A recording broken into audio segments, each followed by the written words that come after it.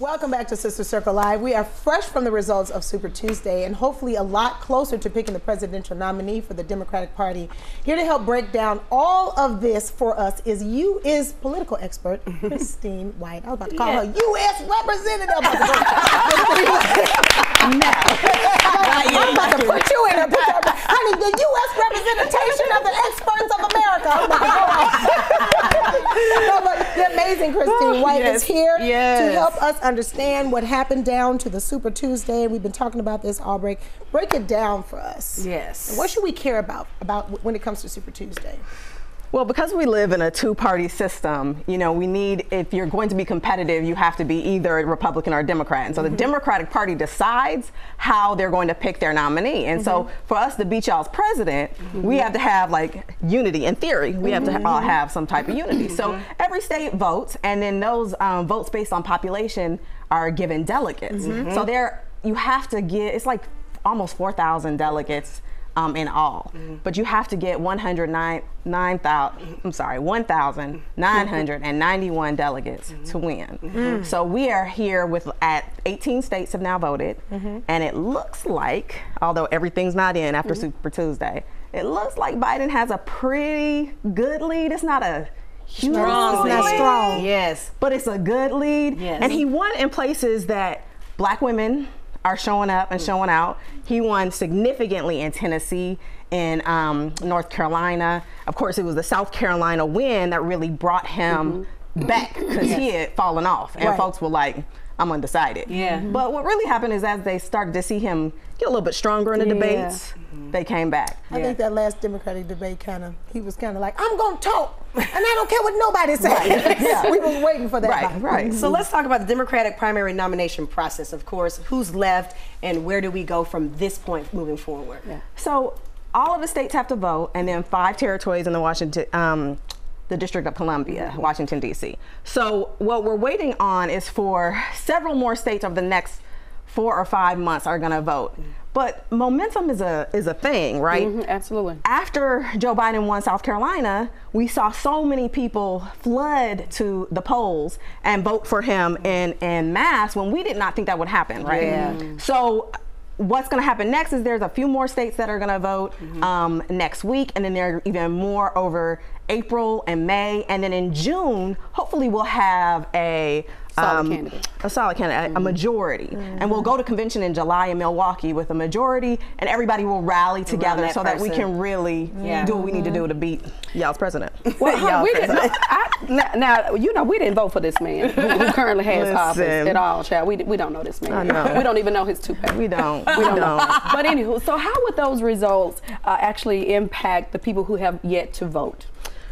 I mean, I think that black folks have been solidly behind Biden for a long time. The question was, were young people going to go with Bernie? Were young black people going to, going to go to Bernie? So now you heard um, Sanders say early on that he was going to make his campaign more black and that it was too white and that it was too male. And so he really did a lot of work in South Carolina to have, you know, it didn't work, but to try to get a lot of support.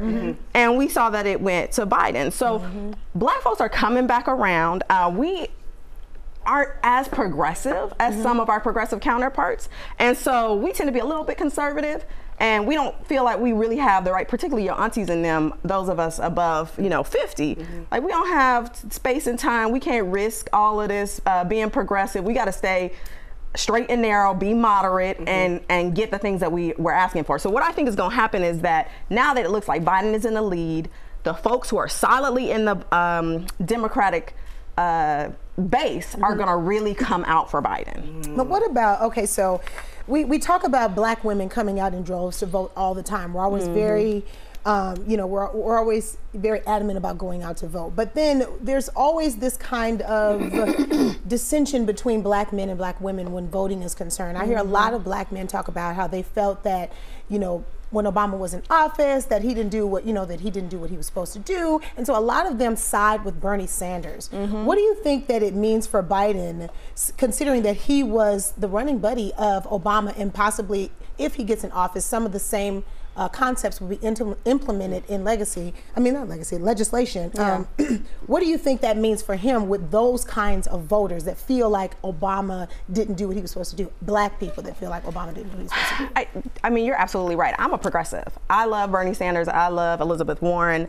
I think that it's going to take progressives to push Joe Biden where we need him to be to mm-hmm. make sure that he's implementing the real issues that black that face black people. I mean, mm-hmm. we have seen polls of what America cares about, but they're not really including black men, and so black men have a have a rational and a reasonable Yes. reason to Yeah. think that this government is not working for them. Mm-hmm. Um, but what we can do is, and particularly as black women who tend to be a little bit more engaged in the process, is really instead of chastising our black men, really find out how we can organize them Yes. better and also invest in the groups that are really touching and supporting black men Yeah. in this process so that they have a voice. Yes. Yeah. Yes. So let's talk a little bit about um, black ver- voters being taken for granted. We talked about that mm-hmm. yesterday. Mm-hmm. I mean, is there any way that this that we can avoid this from happening or stop mm-hmm. this from happening?